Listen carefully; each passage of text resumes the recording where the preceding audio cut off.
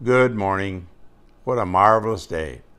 I want to read to you out of Amos chapter 4, verse 12.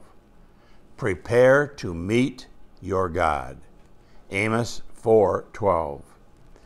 If you were given the opportunity to meet a king, would you refuse the invitation out of fear? Or would you rush to put on your finest garment and wait patiently for an audience with royalty? The answer is found in whether you are received by the king as his ally or his rival. If you have been if you have obeyed the king, you will anticipate being in his presence. If you know that you have come against the king, you'll be in terror of standing before him. We see the world's the world kicking God out of education, government, marriage, the home, and even church.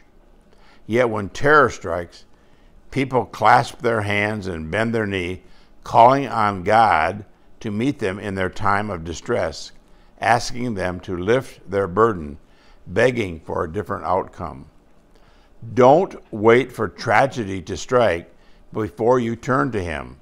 He is waiting for you to come to Him now. Don't wait for the day of doom. It will be too late. When you come to him, you must you must remain with him. Those who have received him should anticipate the moment of his return with thrilling wonder. Have you turned to Jesus? Pray for the peace of Israel.